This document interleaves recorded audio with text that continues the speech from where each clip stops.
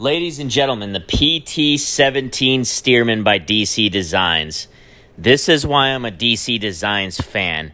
Now, to be clear, I only bought this to get F16 smoke. As you've seen in my other video, uh, if you haven't checked that out, for some odd reason, and nobody on earth knows, including DC Designs, you have to have this plane for the smoke to work on the 16. Don't ask us why, only God knows. But oh my, th- this this plane right here, guys. I mean, as you can see, this thing's gorgeous, man. It sounds great. It's got smoke itself. Um, I want to put it up in the air for you guys, but I do want to talk a little bit about it. You can get two pilots if you want. It's up to you. Uh, not too much to it other than just raw classic beauty. There are two versions of this plane.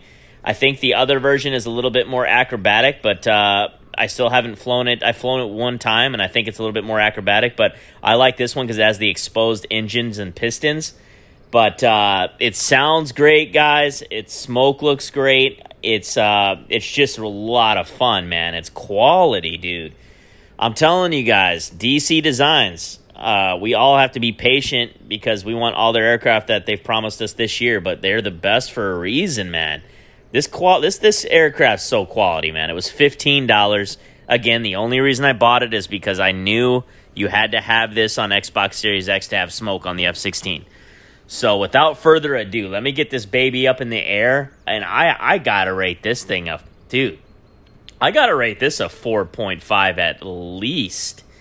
I mean, you'll see once I get it up in the air and uh, and how it sounds and how it starts. It's beautiful pretty easy to take off. Uh, landing's a little touchy, so you got to kind of precisely land it. But uh, let's get it up in the air, guys. But as you can see, it's just got unbelievable natural beauty. Look at this thing.